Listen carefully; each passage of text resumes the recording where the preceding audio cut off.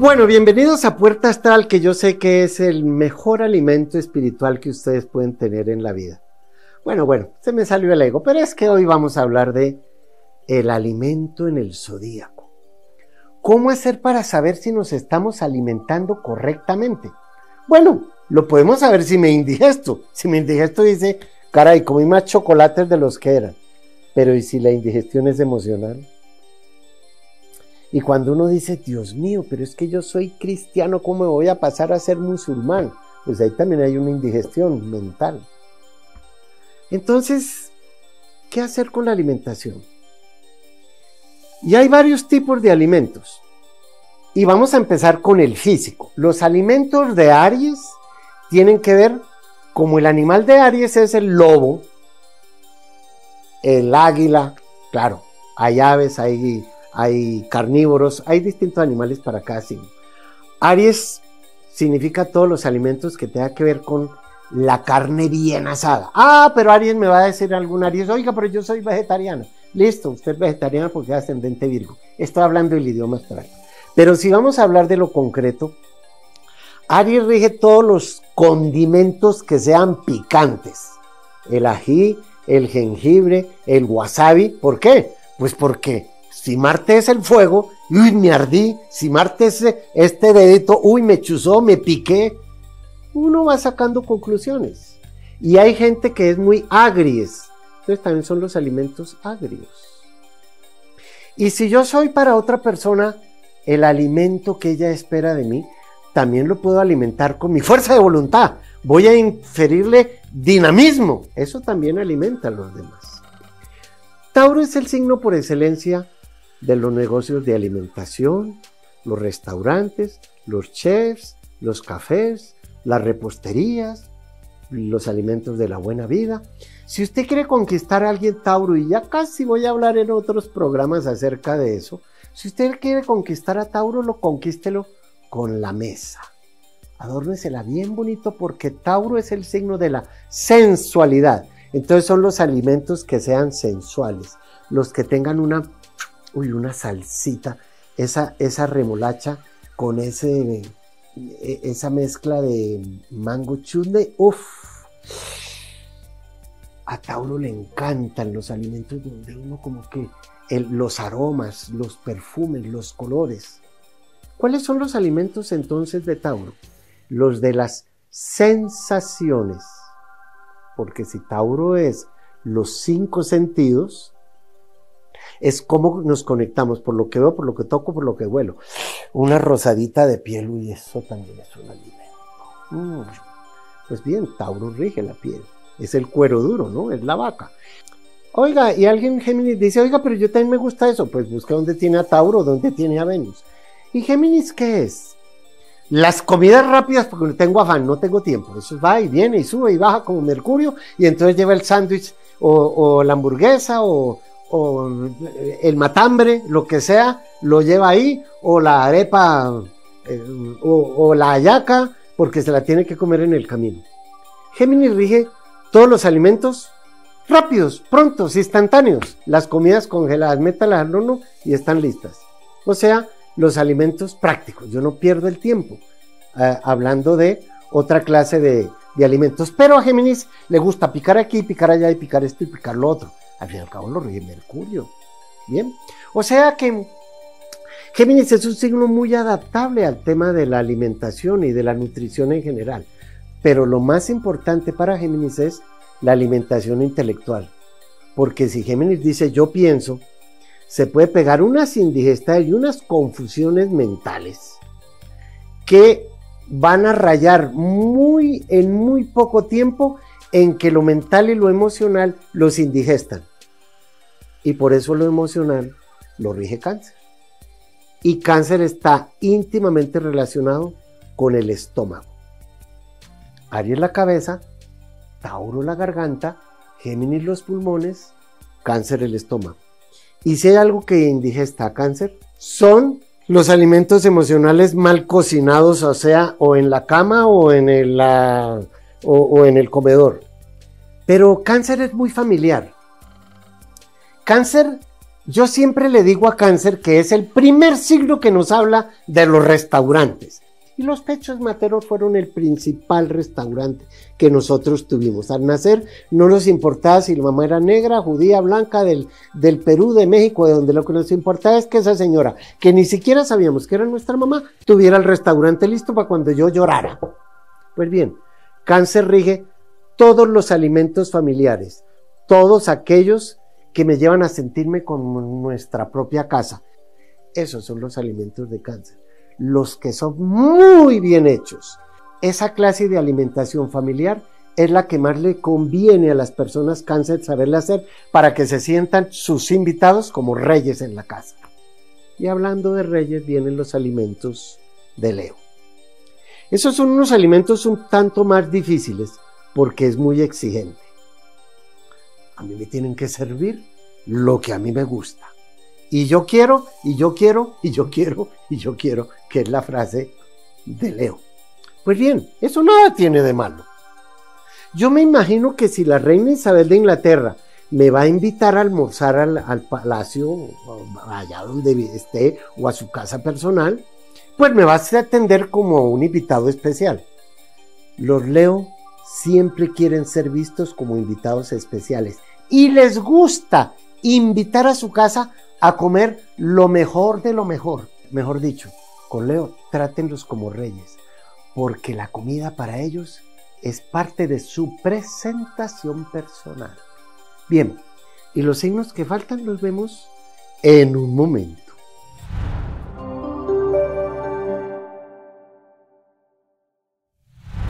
Queridos Arianos y Arianas, estamos en luna nueva y la luna está en Sagitario favoreciendo a Aries.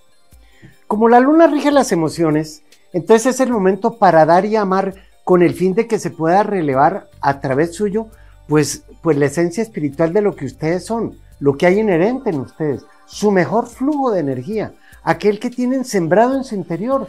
Dejen que la luna, así como el sol se refleja en la luna, dejen que, que lo que hay dentro de ustedes se refleje en los demás. ¿Por qué? Porque todo eso le permite esta semana comenzar de nuevo una vida que lo deje llegar a ser aquello que desea a nivel emocional, con la única condición, eso sí, de limar asperezas que existan en su vida, porque ustedes son el signo de, la peleita y saber qué debe negarle a su ego para que no se vean perjudicados. Y eso sí, no pueden hacerlo sino consigo mismos, de modo que pidan tres deseos que les será concedido el que más le conviene. Tauro sigue con la conjunción de la, de la Tierra con Urano, pero está metidita la luna negra. ¿Qué significa eso? Que tienen que mantener su equilibrio saliendo de lo confuso, la luna negra que hay ahora en su vida. Urano significa libérese, de lo confuso significa la luna negra. Y por lo tanto, hagan de cuenta que esta semana como que ahora se mira usted como en un estanque o en un espejo y ante Él piensen en cuáles son aquellas partes de su diario vivir y de su ser más profundo que quieren desintegrar. Eso es la luna negra. De algo se tienen que liberar. Y para hacerlo, pues aumenten su fuerza de voluntad, porque con ella pueden utilizar su parte psíquica, muy de la luna negra, y la emocional, muy de la luna negra, pero mucho más a, a su favor. De modo que si desean hacer el papel de víctima o de mártir, observen muy bien las consecuencias de sus actos. Eh, el futuro sigue estando en Géminis, pero está, la lunita negra se le va a meter a Géminis ahora. ¿Qué significa eso al lado del futuro en Géminis? Que a veces es mejor recaerle en la cuenta de que uno es el primer necesitado de su propia ayuda. Y eso significa ser más realista en sus relaciones, no ser tan exagerado en el logro de las ilusiones y sobre todo no depender tanto de los demás y dejar que los demás tampoco dependan tanto de usted. Es bueno entonces cuidarse ahora de personas del pasado que aparezcan de nuevo a su vida porque pueden crear otra vez las dependencias conectadas. Y como esta es una, digamos, de las épocas más importantes, pues también desarrollen más el lado místico que lo rige la luna negra más idealista que lo rige eh, Géminis. Cáncer sigue sin nada ahora encima suyo, pero yo creo que ahora deben sacar del fondo de ustedes mismos lo mejor de su ser. ¿Para qué? Para observarlo. Si yo observo este lapicero es porque yo no soy el lapicero, lo puedo observar. Y si observo algo en mí es porque yo no soy eso. Entonces, conózcanse más a sí mismos y acepten la verdad de lo que observan de ustedes, así sea cruda. Y no se imaginen lo que no es ahora ni podrán ser mañana. No se engañen ni esperen imposibles, porque es que como la frase de cáncer es yo siento, sientan si eso que están viendo es ustedes o no. Entonces, tampoco idealicen a nadie, ni exploten, ni se dejen utilizar por nada, ni por nadie. Ya vuelvo.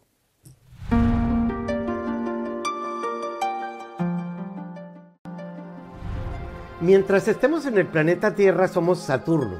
Pues bien, los espero el 13 de noviembre a un seminario que voy a dictar en donde demostraré que Saturno es la muerte.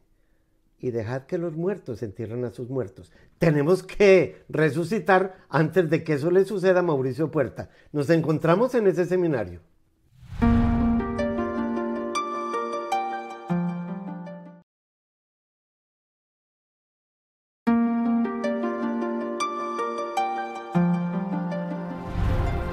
En cuanto a la alimentación, llegamos a otro de los signos que más tiene que ver con el tema. Son tres. Tauro, que rige la alimentación en general. Cáncer, que rige la alimentación familiar. Pero Virgo, rige la nutrición. Porque una cosa es coma y coma y coma, y otra cosa es nutrase. Saberse nutrirse, en Virgo. Siempre les digo a las personas Virgo, o donde tengan a Virgo, si es en la casa de la salud, del dinero, de la profesión, que se dedican a temas relacionados con la salud, porque Virgo rige todos los alimentos naturales, orgánicos, todo lo que sea biodigestivo, eh, la alimentación y hasta la medicina, todo lo, lo natural y lo orgánico, las plantas medicinales, todos los productos que vengan como salud para mejorar nuestra nutrición. Pero ¿y qué hacemos entonces con la nutrición emocional o mental cuando Virgo dice yo analizo? Si tenemos una alimentación mental, emocional y física completamente balanceada, pues entramos a Libra. ¿Cómo es el tema de la alimentación cuando uno entra a Libra? Fíjense que Libra rige las relaciones sociales. O sea, una persona Libra cuida en la comida que esté al detalle, al punto, que esté en la cocción precisa, ni muy allá ni muy acá. Y como tanto a Tauro como a Libra lo rige Venus, Venus se preocupa también por algo que en la comida es importante. Como Libra es quien me acompaña, ¿quién acompaña una comida? ¿Es un vino rosé? ¿O es un vino de la cosecha del 43? o es cómo se acompaña la comida. Es fundamental el acompañamiento en las personas Libra. Si es para uno, una persona que lo acompañe es un buen alimento, o si es para acompañar, la música es parte de la alimentación, porque una música suave en el ambiente de velas es muy dado. Libra, como es uno de los signos más educados del zodíaco, siempre estará preguntándose y preocupándose por cómo agradar en la comida a los demás. Pero Libra tiene otro tema, que es la decoración. Una comida bien decorada, bien presentada. Las, em, em, entre las principales frutas de Libra están, por ejemplo, la uva, el racimo de uvas todo lo que, todas las frutas que sean en racimo. ¿Por qué en racimo? Porque se están acompañando la una a la otra. Cuando uno ya tiene eso muy bien definido, ese acompañamiento en la comida con el vino se siente como que está atendiendo al mejor de sus acompañantes. Con escorpión la cosa es un poco diferente.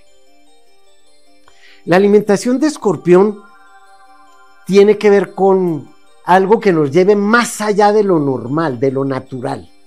Porque la alimentación de escorpión tiene que ver con lo afrodisíaco. Todas las comidas que para ustedes sean afrodisíacos, como los, eh, no sé, las ostras, los camarones, el jugo de borojó. Si no saben qué es borojó, averíguenlo por Wikipedia y úsenlo. Todos aquellos alimentos que sirven para sensualizar una relación, para atraer a los demás. Confía en mí, le decía acá la serpiente a Mowgli, que yo te como con dulzura. pues bien, los alimentos de escorpión son los más intensos y tenaces de todos, los que saben más fuertes. Y por eso también tiene que ver con los vinos, pero pasados de vinos. Y no quisiera pasarme en este tema. Voy a salir del problema con Sagitario. Sagitario siendo el signo de los excursionistas, pues bueno, uno dice los paseos a la orilla del río, las aventuras, eh, todo aquello que se haga al aire libre. O sea, a Sagitario convídelo a la casa y ármele la mesa en el patio. Seguro que eso también le va a encantar.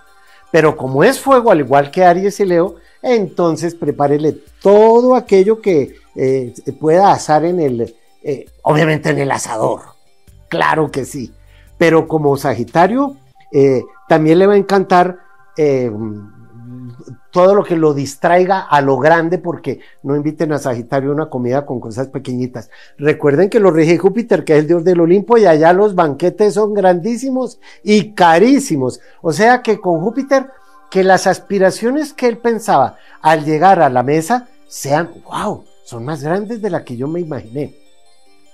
Sagitario debe em, saber eh, cocinar eh, cuando sea su propio chef comidas que tengan que ver al vapor. ¿Por qué? Porque al igual que Géminis le pueden gustar las comidas rápidas. Y hoy es muy fácil, mientras Aries rige cocinar en aceite, el Sagitario rige cocinar al vapor. Una comida más eh, fina porque el cuerpo debe comprender que es eso que le está metiendo a él como alimentación y es más fácil para una digestión algo que sea al vapor que algo que sea frito. Y hablando de digestión, Capricornio come de todo. Mentira, Capricornio no come de todo. Si hay un signo elitista para comer, es Capricornio. Y se los voy a decir por lo siguiente. Las cabras tienen unos labios que se llaman bipalpos. La gente cree que, se están comiendo de todo. No, con lo bipalpo que están haciendo. Están palpando si eso se lo van a comer o no. Capricornio regurgita lo que come. Tiene, una, tiene una, un estómago de acero. Le cabe cualquier cosa. Y Acuario, que quiere más bien la comida en comunidad, ese sí que no le pone problema a nada. Comamos y vamos que mañana moriremos. Lo que haya me lo como con gusto si estamos en un buen ambiente. Si eso es así, pues Acuario es el signo que más nos puede servir para traer invitados a la cena que hemos hecho. Con Acuario nadie se preocupa. La comida de Acuario, excelente, le gusta mezclar de todo y hacer cantidades de cosas en un mismo sitio. Y Pisces es el alimento espiritual, es el alimento más sano de todos. Pisces nunca se va a exceder en su alimentación. En lo único que de pronto hay que tener cuidado es en la bebida o en lo alcohólico. Y bien, nos vemos en un ratito.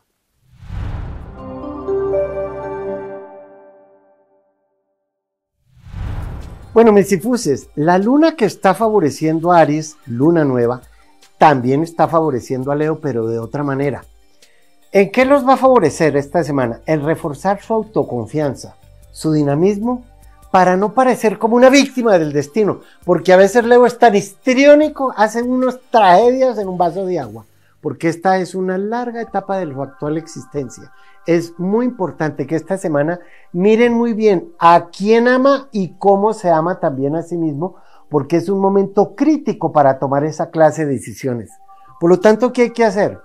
Cultivar pensamientos sanos, canalizar su imaginación, no soñar despiertos y si lo hacen, sea más consciente entonces de cómo están viviendo absolutamente dormidos, como el gato en el cojín. Virgo no tiene ningún factor ahora encima, pero como es tierra y, Tauro está, la tierra está en Tauro favoreciendo a Virgo, mantengan los precios sobre, la tierra más sólidos de lo que han acostumbrado.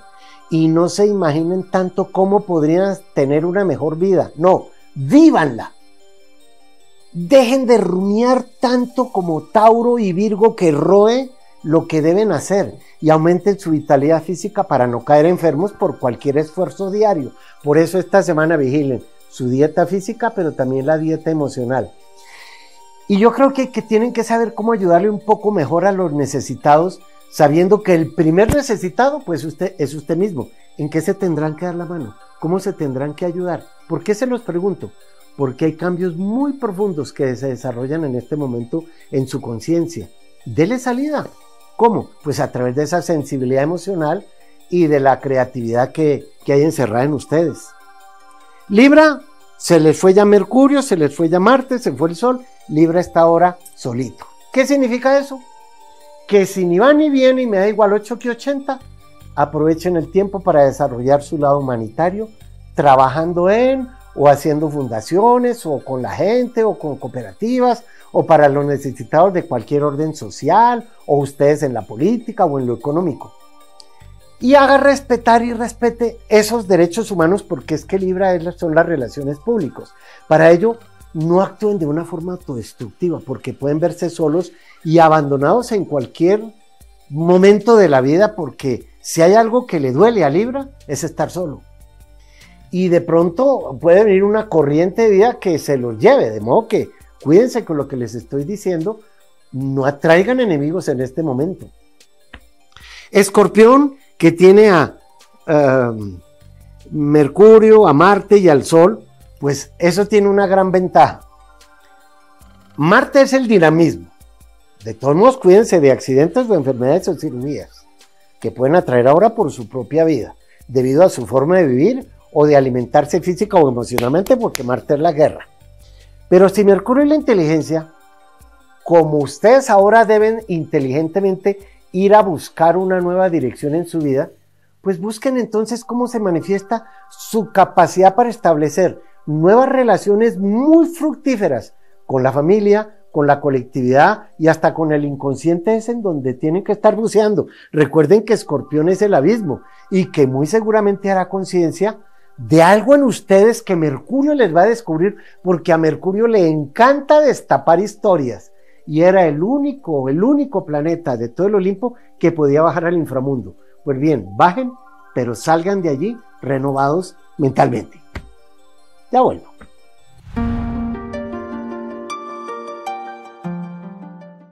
Yo aprendo mucho con cada carta astral que hago. Si usted me deja entrar a su mundo si quiere que tengamos una cita personal, podría ser o por Skype o cuando se pueda personalmente. Lo único que tiene que hacer es entrar a mi página mauriciopuerta.tv.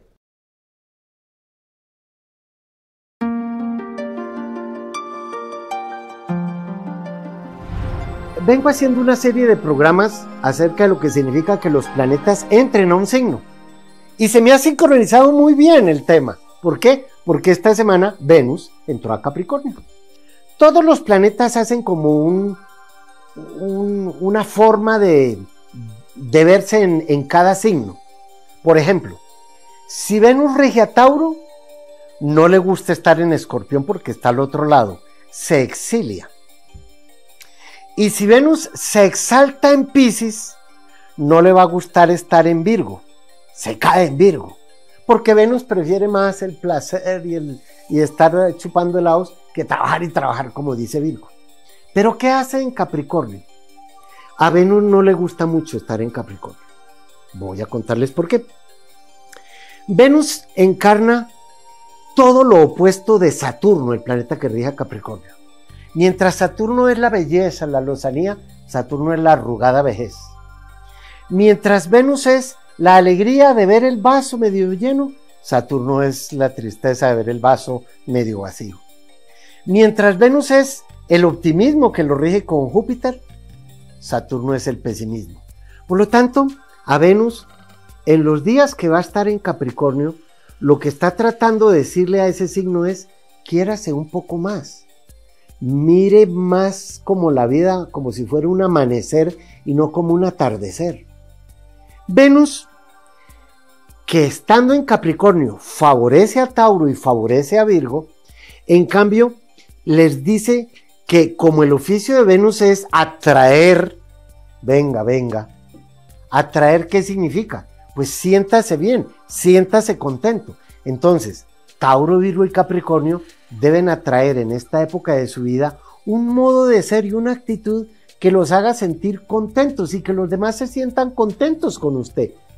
Venus, que es el maquillaje y la belleza. Venus, por ejemplo, eh, está ante el espejo. Por eso Venus eh, lo dijeron como un círculo con una crucecita que pareciera un espejo. Se mira en el espejo para consentirse, para acicalarse, como el gato. Y Saturno, mientras tanto, le está diciendo, ya estás muy vieja, ya estás más arrugada, ¿cómo vas a salir con eso? Pareces un payaso, mire esas uñas todas pintadas. O sea, Saturno es el regañón. Si Venus está en Capricornio y favorece a Tauro y a Virgo, también está diciéndole a Escorpión y a Pisces que es un magnífico momento para llegar al clímax de algo que tiene que ver con el Venus natal de ustedes. No tengo ni idea dónde tienen ustedes a Venus. Yo nací con Venus en Acuario. Y si ahora Venus está en Capricornio, significa que ya próximamente voy a tener a Venus encima de Venus. O sea que para Escorpión y para, y para Pisces, digamos que los escorpión se tienen que ir a buscar ambientes más amables, ambientes más agradables, otro tipo de personas, otro tipo de lugares donde puedan este, estar más en armonía, ser más afines. Si ustedes los escorpión sienten que están en el lugar equivocado, váyanse a buscar otro sitio o váyanse de esa relación donde están. En cambio a los piscis se les está viniendo un excelente momento en la vida. Viene gente que les trae buenas noticias, ayudas, un, paisaje más agradable. Viene gente que tienen que escuchar, que trae proyectos que pues, económicamente les pueden servir muchísimo. Ahora, dejo a cáncer por fuera de escorpión y piscis, que es agua, porque si, si Venus está en Capricornio está opuesto a cáncer. A Venus le gusta estar en cáncer, tiene cierta afinidad con sentirse bien en el hogar. Pero hay algo, algo debe haber en el hogar, en su casa, que lo tiene intranquilo, porque Venus opuesto a cáncer es como que me gusta la camisa, pero la tengo muy apretada. Me gusta la relación, pero, pero como que ya no me estaba, como que no me está dando lo que me gustaba antes. De modo que miren qué relación hay que cambiar ahora. Venus desde Capricornio le hace una cuadratura Libra y una cuadratura Aries. ¿Qué significa eso? Para Venus es muy importante porque Venus rige a Libra. Y para Venus es muy importante que todos los Libra ahora sientan, esta es una cuadratura, que cuando uno hace esto es como que está un poco tacaño y como Venus es esto, entonces en ese cambio que hay ahora deben ser menos tacaños con ustedes mismos. Sí, de pronto cómprense eso que no, pero es que no, no, cómprenselo. Gasten la platica en eso. En cambio, Aries, todo lo contrario, no se la gasten. Porque como se les está acercando Venus desde Capricornio, Venus no rige la pobreza, pero Saturno les va a decir, no gaste lo que no tiene, porque de pronto se puede quedar sin nada. Por lo tanto, en ese sentido, cuando Venus entra a un signo, uno tiene que saber cuál es el mito de Venus pero también tiene que saber qué significa Venus en su carta natal. Yo no podría saber eh, mi carta si no hubiera aprendido mitología y afortunadamente entré a la astrología por el mito. Y miren el mito de Venus. Venus nace cuando Saturno castra a su papá Urano y el miembro castrado de Urano cae al mar. Pisces, la piscina. Por eso Venus se exalta en Pisces.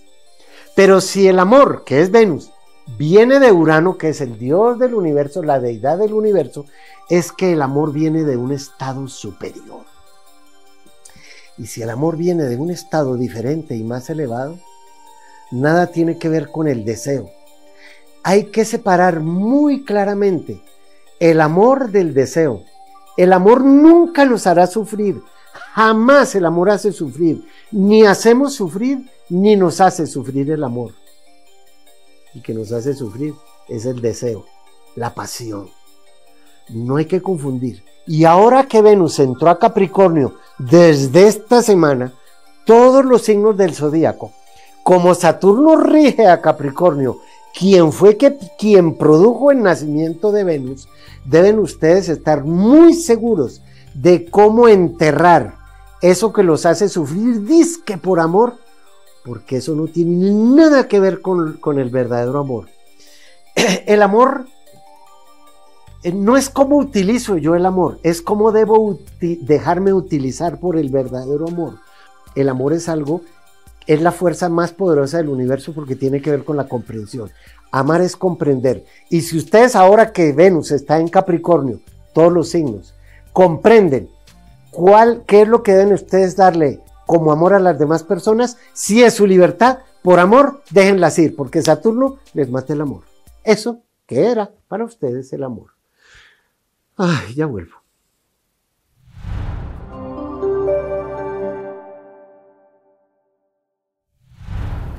Había dicho desde un principio que la luna está nueva ahora en Sagitario. Oiga, usted los Sagitarios, si se interesan más por el bienestar comunitario, el cosmos también se interesa más por usted y su beneficio. Pero hay que definir qué es lo comunitario para ustedes. Si es su familia, si es la gente del edificio, si es el barrio, si es en la política. Y deben interesarse sobre todo dándole poder para que pueda saber cuál es su destino por medio de visiones internas, porque es que Sagitario dice yo veo. Por eso, con esa flechita, esta semana tienen que tener una imaginación dirigida, una inspiración muy creativa, y así como usted forma parte de un organismo personal, ya bien sea a nivel familiar, profesional o social en general, dense cuenta que también pertenecen a un organismo cósmico. La flecha es universal. La luna va a entrar también a Capricornio y va a estar junto con Venus. Pero ni a la luna ni a Venus les gusta estar en Capricornio. ¿Qué significa eso? Que ustedes se tienen que interesar esta semana por saber más acerca de cuál es su función real, para qué están vivos emocionalmente. ¿Yo para qué sirvo? ¿Qué será de eso que llama yo después de este momento que está viviendo ahora? Entonces, esta semana Dedíquese más a lo que verdaderamente usted considera su vocación, para lo que usted sirve y siente sin importar lo que otros digan o piensen de usted en este momento. Para eso, Capricornio es muy realista, o sea, procure no idealizar a nadie ni a nada y tampoco reniegue. Yo creo que con Venus hay que como levantar el ánimo introduciéndose en sí mismo para buscar más logros internos que externos, que eso lo rige la luna pues ahora puede haber cierta desilusión profesional o conflicto entre su vida pública y la vida privada. La luna alcanza también a entrar esta semana Acuario y hace conjunción con Saturno. ¿Qué significa eso? Que ese fenómeno haga que los sucesos externos alteren sus estados internos. Por eso yo les aconsejo con la luna al lado de Saturno que, que se diviertan un poco más, que no piensen que la vida es tan dura, que se dediquen al arte, al cine, a la música, toda la plástica puede interesarles ahora, así como la luna rige algo lo místico también y las búsquedas psicológicas, porque literalmente es el momento para empezar a cosechar lo que hayan sembrado desde sus creencias y servicio social. Y la luna, que rige mucho la intuición, les sirve para ser más artífices de su propio arte de saber vivir. Ahora, Neptuno nada que se pone directo en Pisces y ya está en los últimos grados de Pisces. ¿Qué significa eso? Que con, sus, que con más sensibilidad y desarrollo individual pueden extraer mejores vibraciones de sí mismos para que la espiritualidad los lleve a la meditación, al misticismo, a los estudios metafísicos avanzados y así que los rebatos como de visiones interiores positivas no solo los benefician a ustedes, sino a los más próximos en su vida. Por lo tanto, en esta semanita, no sé, como que solidarícense con el sufrimiento ajeno, que de pronto así curan sus confusiones. Porque Neptuno está en Pisces todavía varios años por delante, pero al estar retrógrado es como ser muy honesto con uno mismo, como como buceando, buscando en el alma lo que, lo que sentimos en verdad. Ya vuelvo, no se vaya.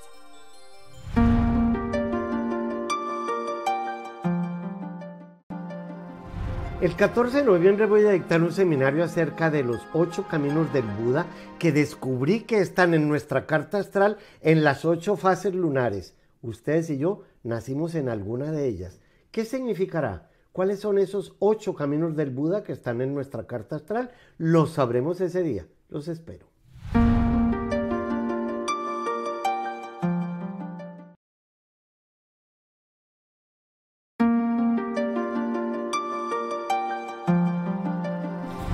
Fanny tiene una pregunta en, las respuestas que le doy al público fantástica por la edad que tiene. Todas las personas que nacieron en el año 66 tienen lo que se llama el trígono de Urano, que es cuando uno tiene 28, 56 y 84.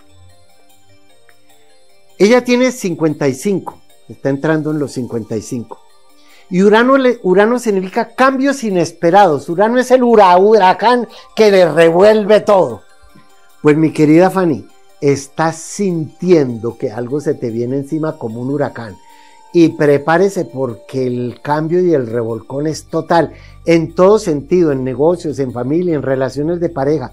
Y no puedes hacer nada por evitar esos cambios. Te toca seguir así y agradecerle a la vida que te deje saber hacia qué dirección eh, dirigirte en todo sentido. Lola del Valle dice, nació en, es Sagitario, en Buenos Aires, vive en California y trabajo, ¿qué es lo que me beneficiaría hacer? Pues mira, ya como buena Sagitario vives en el extranjero. Tendrías que ver, no lo sé porque no puedo hacer tu carta natal aquí toda, pero tendrías que ver cuál es el oficio que puedes desarrollar en temas internacionales como comercio al por mayor, exportar, importar, franquicias. Sagitario también es un muy buen guía, enseñar a otros eh, como maestra, como gurú de algo, em, eh, guía turístico, eh, todo lo que tenga que ver con el turismo. Te doy los distintos temas que maneja Sagitario María Aurora dice, ella es acuario, nació en San Luis Potosí. Pregunta si sus finanzas mejorarán. Pues mira, siendo acuario, Júpiter es el signo de las aspiraciones. Júpiter nos lleva a mundos lejanos, aún a viajar al extranjero. No sé cómo sean las finanzas tuyas, pero si naces a las 12 del día, como dices ahí, pues siendo escorpión, perdón, siendo acuario y Júpiter estando ahora allí, te conviene todo lo que tenga que ver con negocios en los que se involucren lo que acabo de decir ahora. Comercio al por mayor, la tecnología que es muy de acuario, em, negocios por internet, negocios virtuales, todo ello favorece enormemente eh, el ciclo en el que tú estás viviendo. Y además, porque por la edad que tienes, también tienes un, un magnífico momento para ser más libre e independiente, ya que Urano desde Tauro te está diciendo que de aquí al 25 de abril del 2026 estás volteando una esquina. En los próximos cinco años tienes que pensar que las finanzas cambian de rumbo, que hay otra manera de ganarse el dinero. César, que es escorpión, dice, quisiera saber sobre lo laboral, profesión contador público y otros estudios de la profesión y también cursos de espiritualidad. Y si tú naces en el año 72, pues vas a tener a Júpiter encima de tu propio Júpiter natal. Ocurre cuando uno tiene de edad 12 años, 24, 36, 48 y así sucesivamente. Y tú vas a cumplir eh, eh, el cumpleaños de Quirón también. ¿Qué significa el cumpleaños de Quirón? el cumpleaños del maestro, del sabio. Lo llamo yo el cumpleaños de la sabiduría. Ese planetoide Quirón da la vuelta alrededor del zodíaco cada 50 años. Y por lo tanto, desde cuando tienes los 48 y hasta ahora que vas a tener los 50, estás en el ciclo de por tu maestría, por lo que tú sabes hacer, pues entender que hay gente que está necesitando de tu ayuda. Qué buena época para todos los que tengan ahora entre 48 y 50 años o alrededor de los 50 años, saber que el cumpleaños de la maestría les permite darse a conocer por lo que saben. Y en tu caso, César, si eres el chamán, el brujo, el que se dedica a otras artes, pues qué bueno que lo hagas.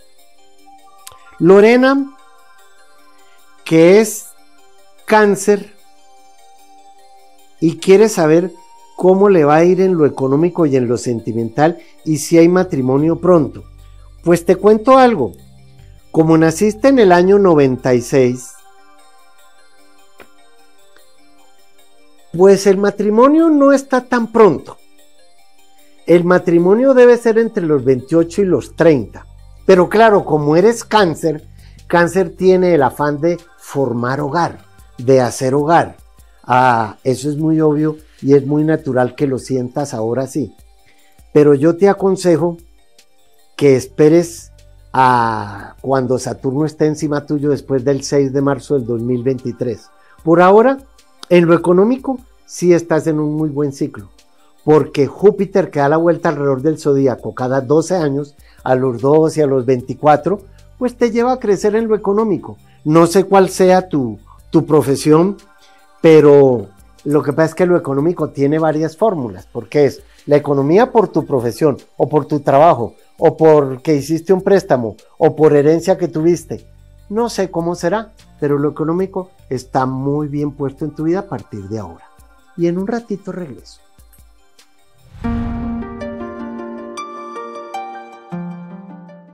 Yo aprendo mucho con cada carta astral que hago.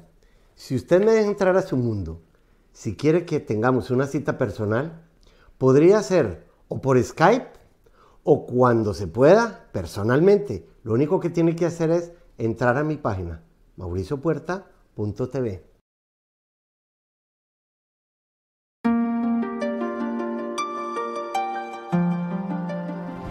Yo que soy Capricornio y que soy excursionista y he escalado muchas montañas, siempre introduzco en el morral aquello que, que voy a necesitar. La alimentación, la ropa, los medicamentos, todo eso. Pero en temas de alimentación, si yo voy por un camino plano, lo que llevo en el morral debe estar de acuerdo a ese caminar. Pero si voy para las alturas en la montaña, de pronto estoy llevando un alimento que ya no me va a servir allá y debo cambiarlo. Nuestra alimentación emocional, física, espiritual, mental tiene que ir cambiando constantemente en la vida. No podemos, si yo voy con unos zapatos que me sirven para andar en la playa, que son muy suaves, y ahora voy a trepar el Himalaya o el Aconcagua o el Popocatépetl, pues no puedo subir con esos zapatos. Tengo que sacarlos del morral y ponerme otro, otro, otro calzado. Lo mismo significa para nuestra edad. Hay edades en las que uno requiere de unos alimentos, pero en otras no. Yo entiendo que las personas que tienen dientes postizos, pues no se van a poner a comer chicharrones duros y así no los tuvieran. Tienen que ser comida más suave. Por eso yo les aconsejo que en temas de alimentación emocional y espiritual y física, preparen su vida como quien arregla el morral al caminar. Lleven en ella la conciencia limpia y el amor que es el principal alimento del que nos podemos nutrir y con el que podemos nutrir a los demás. Pero si el amor nos va a doler o nos indigesta, no lo llamen amor porque no tenía nada que ver con eso. Se llama comida chatarra. Los espero en la próxima emisión de este programa. Gracias con amor.